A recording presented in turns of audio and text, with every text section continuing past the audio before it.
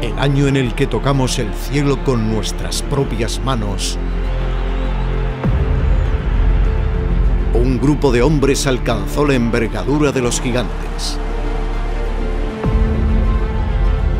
Goles que quedan grabados a fuego en nuestra memoria. Una afición que vivió gestas nunca antes soñadas. Una ciudad que se transformó en un equipo. Historia continúa. Queremos ser cuartos. Y lucharemos por ello.